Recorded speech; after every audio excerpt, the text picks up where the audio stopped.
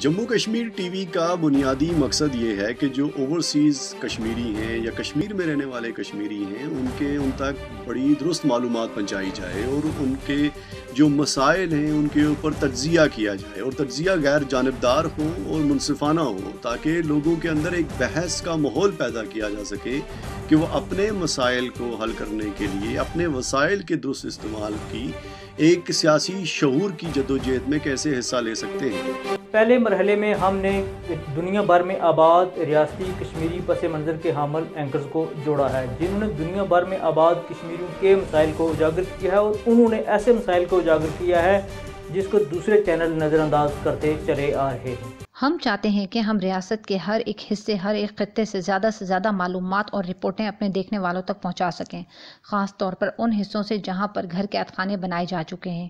لیکن تقسیم کی لکیر کے پاس پاکستانی مقبوضہ حصوں میں بھی وہ آوازیں، کہانیاں، معلومات ہم لوگوں تک پہنچانا چاہتے ہیں، جن کو وہاں کے قابض ریاست کے ادارے اور ان کے کشمیری اہلکار دباتے خاموش کراتے رہے ہیں۔ گزشتہ پانچ ہفتوں سے ہمارے دیکھنے والوں کی تعداد میں کئی گنا اضافہ ہوا ہے، کیونکہ بھارت نے اپنے مقبوضہ حصے میں فوجی طاقت کے ذریعے آزادی اظہار کا لغوی طور پر گلا گھونٹ رکھا ہے۔ اس لیے دنیا بھر میں آباد کشمیریوں کے لیے جے کے ٹی وی معلومات اور تبادلہ خیال کا ایک ذریعہ ثابت ہوا ہے۔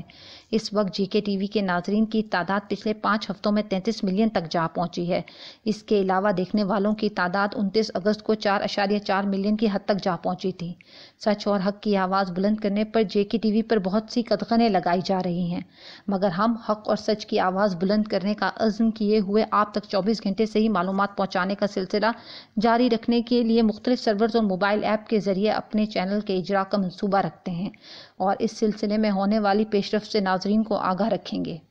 اس کام کو آگے بڑھانے اور ریاست کی صورتحال، بحث و مباحثے اور تجزیات کو بہتر طور پر پیش کرنے کے لیے ہمیں ریاست کے تمام حصوں اور دنیا بھر میں جن ممالک میں کشمیری آباد ہیں، وہاں سے شہری رضاکار صحافی چاہیے جو اپنے علاقے سے رپورٹیں بنا کر بھیج سکیں۔ وہ نیچے دیے گئے نمبروں اور ای میل کے ذریعے بھیج سکتے ہیں۔ آپ ریاست کی کسی بھی زبان، اردو، ہندی اور انگریزی میں رپورٹیں بھیج سکتے ہیں۔ اگر آپ کو کسی قسم کی تربیت کی ضرورت ہو تو وہ آن لائن فراہم کی جا سکے گی۔ شکریہ۔